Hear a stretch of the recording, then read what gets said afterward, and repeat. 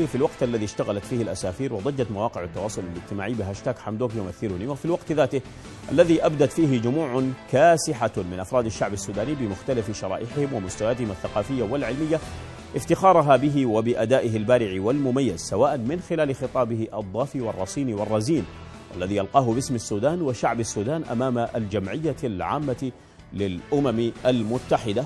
في دورتها الرابعة والسبعين. بعد غياب متطاول للسودان عن هذا المحفل الدولي بعد غياب متطاول عن هذا المحفل الدولي المهم يمثل هذا الأداء البديع وتمثيل تمثيله بهذا المستوى الرفيع أو من خلال أنشطته الكثيفة التي انخرط فيها على هامش الاجتماع الأممي أو من خلال لقائه لقاءاته العديدة بعدد من قادة الدول وممثليها الرفيعين وقيادات عدد من المنظمات والمؤسسات الدولية والإقليمية.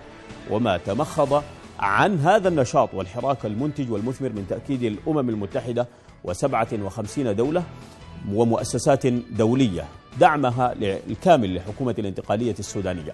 كل ذلك أثار حسد وغل وغيرة بقايا فلول النظام البائد في محاولة في محاولة بائسة ويائسة للتقليل من هذا الجهد الملحوظ والأداء المتميز الذي قدمه حمدوك أمام العالم أجمع.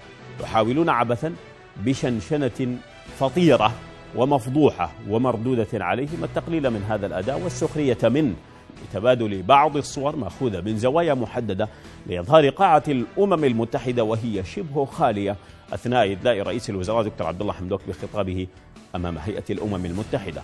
ختم المكاش في زاويته قائلا صحيح اللي اختشوا ماتوا فهؤلاء الحق الحقدة أو عفوا هؤلاء الحقدة وجمع حاقد تصلح فيهم حكاية مثل الأختشوا ماتوا فهم لم يختشوا من أدائهم البائس في مثل هذه المحافل وممثليهم الباهتين الذين مثلوا بنا ولم يمثلونا وسياساتهم ودبلوماسياتهم الخرقاء التي لم تورث البلاد سوى الشقاء والعزلة.